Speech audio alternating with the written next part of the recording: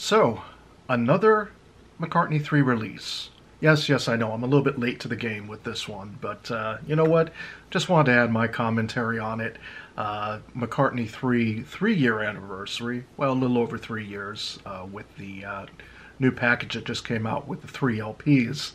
And, you know, as I look at it, on the one hand, I can't help but think, oh, this is kind of cool looking, this is nice, right? But, you know, on the other hand, um, not quite something I'm rushing to get.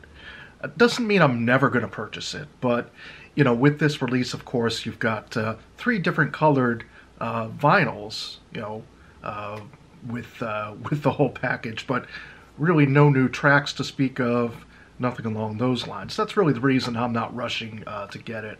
And I mean, you're talking to somebody who I've bought a lot of different editions of this particular album. I've bought the uh, regular edition. I've bought the uh, Target Green CD, bought the uh, Target Green LP. There's the red Japanese edition uh, that I got. It's also a blue and yellow dye uh, covers as well.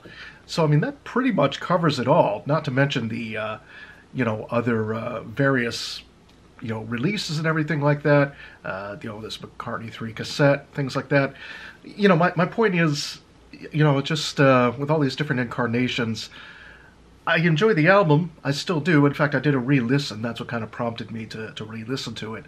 Um, but you know, I think probably time to move on from McCartney three. I, I really am looking more forward to either uh, you know Paul releasing new material, and I'm not just talking about the Band on the Run remix or undermix or whatever you want to call it. That's going to be uh, coming out very shortly. Um, you know, for me, you know, again, it's just okay. Let's let's move on to the next thing. Or of course, not to mention all the uh, other things that we want to see released, notwithstanding um, the London Town and the Back to the Egg archive editions.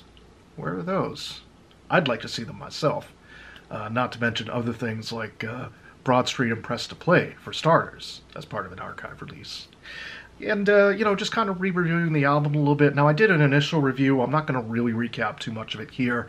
Uh, i gave the album uh, a b at the time.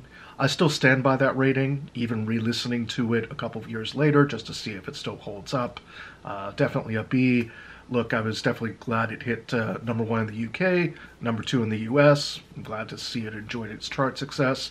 But you know, the the tracks I enjoy again, you know, Long-tailed Winter Bird is the instrumental. Uh, Find My Way is kind of the, the single from the album, the most uh, played song. Really good song right there. Uh, Women and Wives, decent enough. Lavatory Lil, fun in a certain way. Deep Deep Feeling was all right. You know, Sliding, that's a good track. Sliding, maybe even the best track on the album. Uh, the Kiss of Venus, uh, Seize the Day, Deep Down, and Winter Bird When Winter Comes. Uh, you know, again, a lot of them, you know, solid B. I, I think a solid B overall. Um, you know, and, and very much uh, what I still felt was an essential album. I th- still think it is.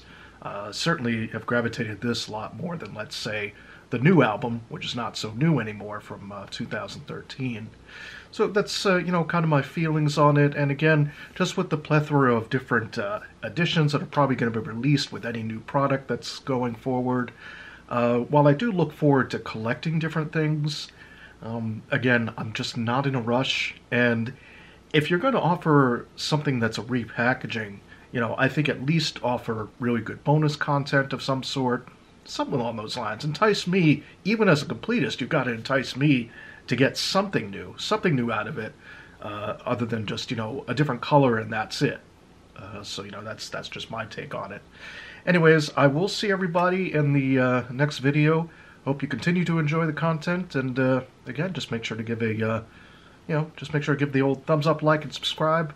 Always enjoying it, and uh, we'll keep going. Until the next time.